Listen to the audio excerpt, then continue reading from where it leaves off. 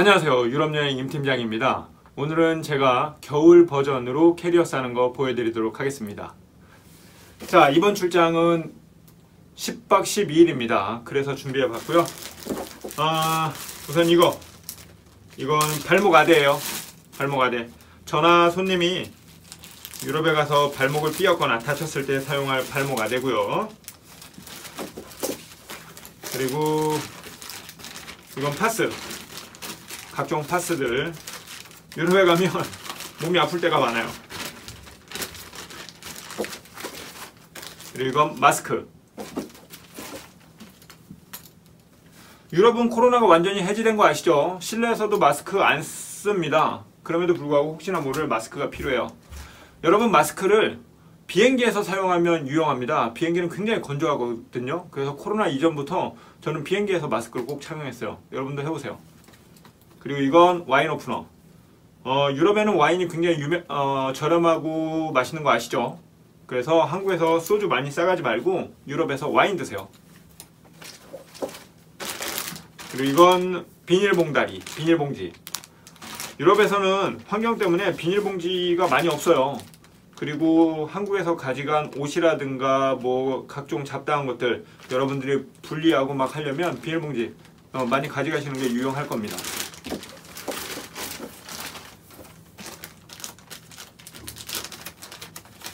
이건 여성용품 어, 소위 말하는 생리대죠. 제가 쓰는 건 아니고요. 손님들을 위해 준비한 건데 유럽에 가시게 되면 컨디션이 나의 보통 컨디션이 아닙니다. 그래서 생리 주기가 아님에도 불구하고 생리가 갑자기 찾아와요. 그래서 부득이하게 준비를 못 하셨거나 그러시는 분들을 위해서 준비했고요. 물론 유럽 슈퍼가 슈퍼나 마트에 가면 구입할 수 있는데 마트가 뭐 가까이 있어야 가죠. 유럽은 편의점도 없으니까. 그래서 미리 꼭 챙기시기 바랍니다. 자 그리고는 이건 목걸이, 팔찌 같은 개인 액세서리. 저의 액세서리고요. 이건 여기고. 이건 세면도구. 유럽에 가시게 되면 기본적으로 비누라든가 샴푸는 기본적으로 있어요. 근데 대부분 quality가 좋지 않기 때문에 본인 걸 가져가서 사용하는 게 좋습니다. 그래서 세안제, 면도기 뭐 뭐뭐 치간 브러쉬 뭐 면도기도 여분도 있고요 이것 또한 마찬가지예요. 여기도 화장품, 뭐, 뭐, 면도, 뭐야, 거품? 뭐 그런 것들. 그리고 향수. 뭐 그런 것들 쭉 넣었네요. 세안도구. 여기 들어가고요. 자, 그리고 이건 제가 좋아하는 것 중에 하나인데, 눈 안 됩니다. 눈 안 돼. 아시죠? 이거 눈에다 대면 눈이 따뜻해지거든요. 그래서 잘 때라든가 아니면 휴식 시간에 버스에서 피곤할 때 이거 딱 해가지고 눈에 딱 끼고 있어요. 눈에 대고 있어요. 어, 저는 아주 좋아합니다. 자, 여기는 칫솔과 치약, 칫솔과 치약이 있는데 이건 기내에서 사용할 용입니다. 기내에서 나눠주긴 하지만 저는 제 걸 가져갑니다.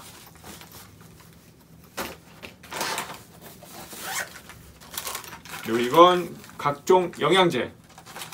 유럽 피곤하죠. 그러니까 여, 영양제 잘 챙겨 먹어야 돼요. 그리고 이건 스프레이. 하드 스프레이 저는 헤어 세팅하기 위해서 꼭 필요하니까 쓰고요. 핫팩. 핫팩은 기본적으로 여러분들은 10일, 12일간이다 그러면 핫팩은 최소 10개 이상 준비하십시오. 핫팩은 어느 정도냐? 뭐 평소에 밖에 나가서 따뜻하게 주머니를 손이나 그런 데를 따뜻하게 할 수도 있지만 잘 때 호텔이 대부분 추워요. 그래서 원래 이걸 잘 때 사용하는 건 안 되죠. 안 되는 거지만 잘 때 나의 주머니라든가 이런 데 넣고 주무시면 괜찮을 것 같아요. 아니면 좀 뭐랄까 이불 안에 이 핫팩 하나 들어가 있으면 그래도 이불 속이 따뜻하거든요. 그래서 핫팩 어, 겨울에 유럽을 가신다면 꼭 준비하세요. 일단은 유럽은 난방이 우리나라와 방식이 다르기 때문에 기, 추워요. 그리고 또 기본적으로 유럽은 다 옛날 대리석 건물이기 때문에 어, 이렇게 방풍이나 그런 것들이 잘 안 돼 있어요. 그리고 또한 난방 자체를 잘 키지 않습니다. 그래서 추워요. 그러니까 꼭 핫팩 필수예요 필수. 핫팩은 여기다 놓고 자 그리고 저는 유럽에 갈 때 간식으로는 이거 가져갑니다. 이건 캐슈넛, 이건 아몬드. 음, 이건 개인 기호식품이죠. 그리고 동유럽에 가신다면 소위 말하는 돼지코라고 하는 멀티 어댑터가 필요가 없어요. 이 멀티 어댑터가 필요한 곳은 서유럽입니다. 어, 동유럽이나 발칸은 필요 없는데 저는 항상 다 준비하죠. 그래서 어, 각종 충전 케이블 같은 것들 그 다음에 이건 페브리즈예요. 페브리즈. 유럽에 가서 옷을 하루 일과를 지내고 나서 저녁에 호텔 와서 옷을 벗어놓고 내가 다음날 그 옷을 입든 아니면 절대 안 입든 그래도 한번 페브리즈로 후려 놓으면 옷에서 냄새가 좋죠. 다시 안 입어도 그 옷을 한국에 가져갈 때 그냥 비닐봉다리에만 콩콩 싸놓으면 나름대로 냄새가 좋지 않을 거 아닙니까? 그래서 저는 페브리즈를 항상 뿌려줘요. 음, 사탕이고요. 개인적으로 사탕을 좋아해서 이것도 사탕이고요. 안경입니다. 저는 안경을 착용하는데 얘는 여분의 안경이에요. 혹시나 잃어버릴 걸 대비해서 아, 그 다음에 옷걸이 옷걸이도 하나 꼭 챙깁니다.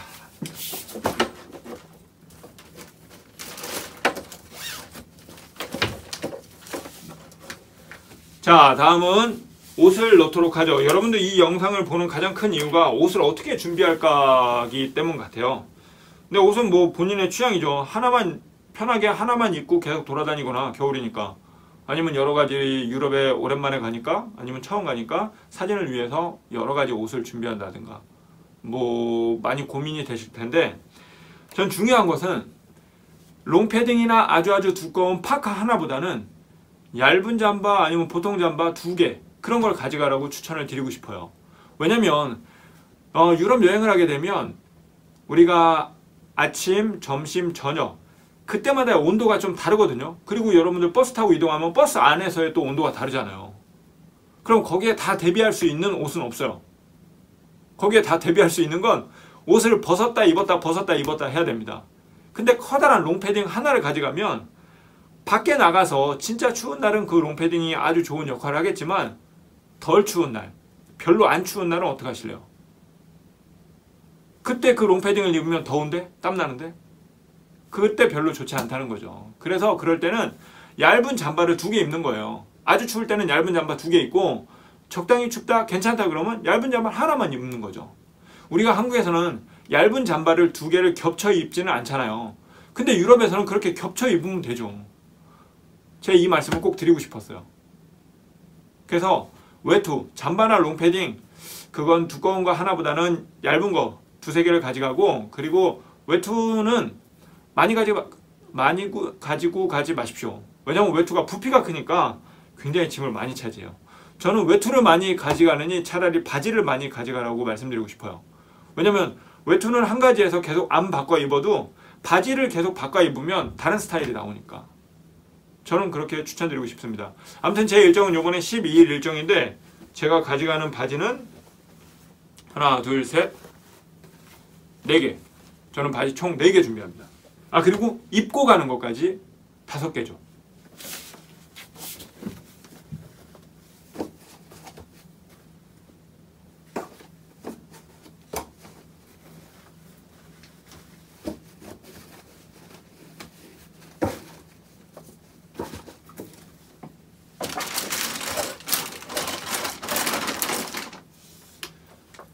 그리고 티셔츠 티셔츠도 저는 모르겠어요. 저는 나름대로 갈아입는다고 생각을 하는 편인데 그래서 이렇게 준비해 봤거든요.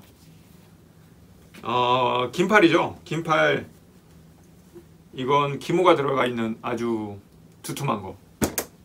그리고 약간 목폴라식. 그 다음에 일반적인 긴팔 두 개. 그렇게 해서 총네 개. 그리고는 반팔이에요. 반팔 두 개. 얘네들은 반팔과 네인데 얘네들은 속 안에 입는 용이죠. 즉, 이 긴팔을 입기 전에 얘를 입고 긴팔을 입습니다. 그리고 잠바를 입어요. 어. 만약에 보세요. 이거 입고 이게 네이 같은 반팔이거든요. 이거 입고 긴팔 입고 그 다음에 파카를 입어야 되는데 춥다. 그러면 파카 입기 전에 이 가운데 사이에 가디건을 하나 입어요. 그래도 더 추울 것 같다. 그러면 가디건 입고 그 바깥에다가 이 바람막이 같은 거 하나 입습니다. 그리고 파카를 입어요. 그러면 롱패딩 하나보다 훨씬 따뜻하겠죠. 아무튼 그래서 요번에는 긴팔 4개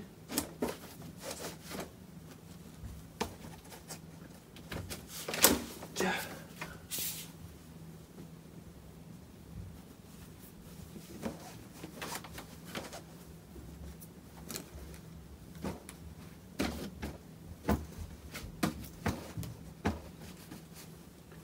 그리고 반팔 은 2개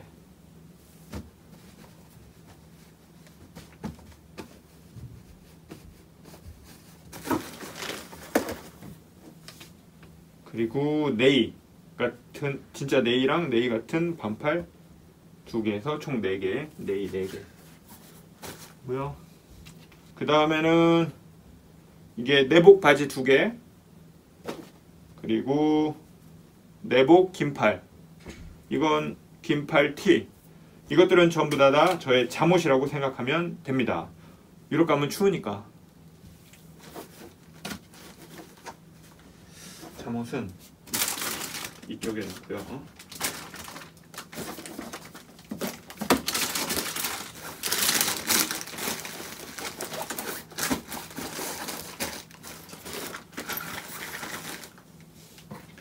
그 다음에 목도리. 목도리 두 개.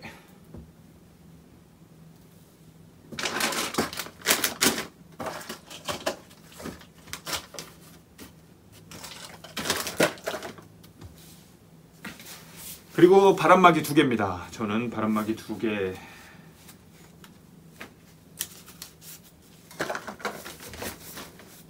그리고 모자. 이건 목폴라. 이건 밤에 잘 때 쓸 겁니다. 그리고 속옷. 양말 13켤레. 이거 팬티 12켤레. 아, 12벌. 저는 유럽에서 빨래 하지 않아요. 그래서 다 준비해서 갑니다, 그냥. 그리고 선글라스, 여분의 선글라스입니다. 아, 그리고 신발. 어, 기본적으로 저는 유럽에 갈 때는 웬만하면 운동화나 캐주얼화 같은 걸 준비해요. 어, 편한 게 좋죠. 그래서 신발 하나, 둘, 그리고 제가 신고 가는 것까지 3개. 그리고 아 이건 수면 양말. 잘 때 추우니까 수면 양말까지 준비하고 있죠. 그리고 신발은 유럽에서 비가 오거나 그랬을 때 젖거나 그러면 아내가 냄새나고 그러죠. 그리고 오래 신어도 뭐 좀 냄새나고 그러니까 저는 밑창 여분을 하나 가져가요. 그래서 밑창을 빨거나 좀 그러기도 합니다.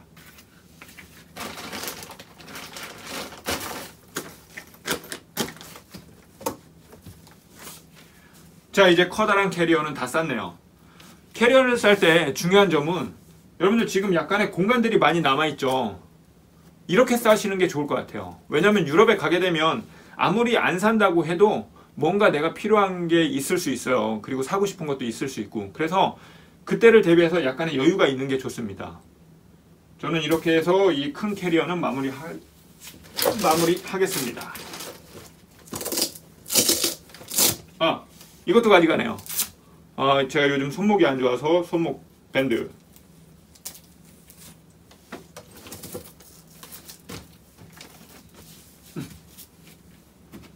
아, 그리고 저는 수건도 하나 가져갑니다.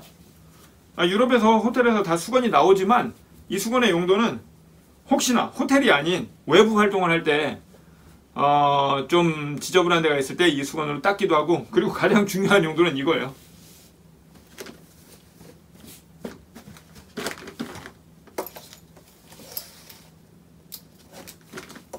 이렇게 해서 수건을 깔고 나서 이걸 하면 이 안에 내용물들이 서로 막 섞이거나 돌아다니지 않아요.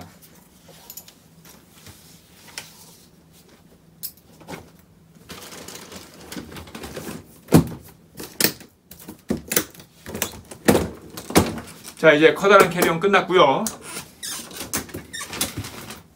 다음은 여기 작은 캐리어. 이건 기내용 캐리어죠. 여기에는 기본적으로 우산 가져가고요. 그 다음에 압박 스타킹. 어, 비행기 타면 다리가 붓죠. 젊으신 분들은 안 붓는데 나이가 들으시면 붓는 것 같아요. 저 또한 다리가 붓습니다. 그런데 그때 이 압박 스타킹 이용하면 다리 안 부어요. 훨씬 수월합니다. 그래서 저는 이 압박 스타킹 비행기에서 꼭 사용합니다. 그리고 잘 때도 압박 스타킹 하고 자면 다음날 좀 개운해요. 그래서 압박 스타킹은 좀 많이 가져가요. 그리고 이건 유럽에서 쓸 돈. 이건 저는 인솔자다 보니까 유럽에서 버스에서 마이크를 잡고 멘트를 하니까 이거 마이크 커버입니다. 그리고 아까 말씀드렸죠? 이거 기내용 칫솔. 이거 아까 보여드린 바람막인데 이건 기내에 가져가요. 그리고 이거 이건 추리닝 바지. 이것도 기내에 가져갑니다. 공항에 갈 때, 어, 정장, 아무래도 차를 입고 가고, 비행기 탑승할 때는 좀 이런 걸로 갈아입어요. 수월하게, 편안하게 비행을 할 수 있도록. 그리고, 비행기는 항상 초반엔 좀 덥습니다. 그래서 여러분들 공항에 갈 때는 옷을 많이 입고 가지 마세요. 언제든 공항은 항상 좀 덥다는 걸 대비해 주세요. 그래서 저 또한, 이 지금이 2월 달이죠. 2월 달임에도 불구하고 공항 갈 때 지금 반팔 입고 갑니다. 대신에 반팔에 가디건 입고 갈, 갈 거고요. 그리고 나서 파카도 입을 건데 비행기 안에서 파카 쓰진 않지만 어, 비행기 안에서 조금 춥다 그러면 저는 이 바람막이 입을 겁니다. 반팔에 바람막이. 여러분도 한번 그렇게 해보세요. 그리고 에코백. 저는 유럽에서 이 에코백을 아주 아주 잘 씁니다. 그리고 손목밴드. 이건 손님들을 안내하기 위한 팻말.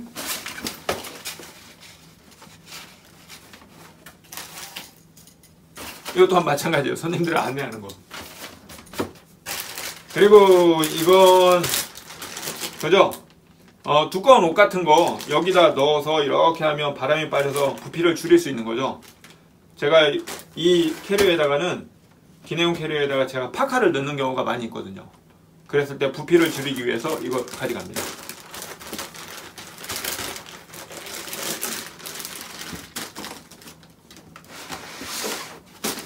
보세요. 공간이 되게 나, 많이 남죠? 이렇게 공간이 많이 남아도 이 물건들을 여기다가 넣지 않아요. 좀 두 개 다 아주 아주 여유 있게 가져갑니다. 그래서 그래야 유럽에서 필요한 것들을 이 안에 사갖고 오죠. 자, 이것도 됐습니다. 자, 다음은 이거.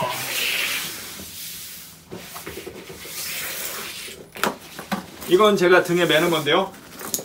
여기는 이제 각종 서류들이 있습니다. 각종 서류들 그런 것들이 있고 필기 도구가 있고요. 어, 마스크도 있고요. 그리고 여기는 중요한 게 뭐 특별한 게 없네요. 아 여권 이 안에 저한테 여권이 있고요. 혹시나 모르니까 국제 운전면허증 저는 가지고 다닙니다. 그 다음에 이어폰 이어폰 준비해서 갑니다. 자 그리고 여러분들이 안경을 쓰신다면 안경집 가져가세요. 어, 안경을 벗는 경우는 비행기에서 좀 벗거나 그렇죠. 그랬을 때 그냥 아무데나 놓는 것보다는 꼭 안경집을 가져가서 여기다 챙겨 놓는 게 좋아요. 그리고 보조 배터리. 그리고 선글라스.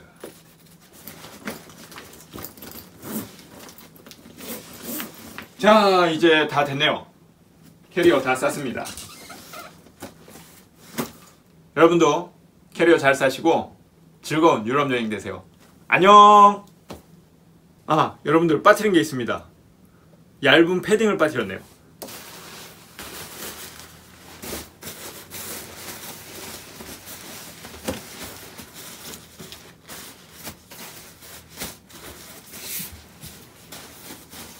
솜씨가 아주 얇아요.